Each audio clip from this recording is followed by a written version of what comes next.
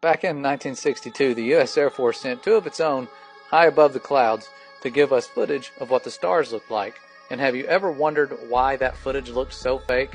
Or why, when other space agencies soon started sending us pictures from space, the stars seem to have just vanished without a trace?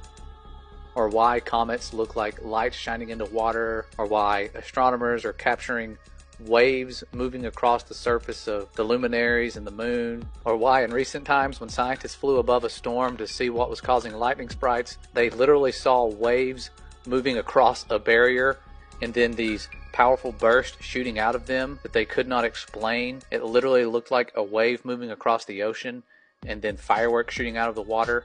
And if this makes you wonder what's up there, well, to find the truth, you need to see our video in the comments because the truth will not fit in a one minute video.